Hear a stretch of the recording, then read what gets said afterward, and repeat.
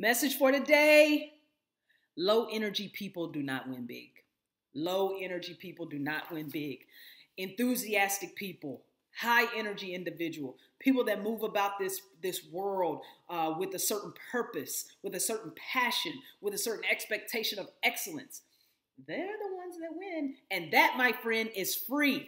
That's free. Cost you nothing to wake up and, and go into that meeting with great energy and enthusiasm. And you can just have energy in your body language. It's not about how you talk, it's not about what you're saying. You can carry it in your body language. You can carry it with your smile, you can carry it with your high five, give somebody a fist pump. You don't have to be saying a lot. You can carry that. Confident people have energy, right? So, low energy people uh, don't win big. Do not be one of those people. High energy wins. Much love.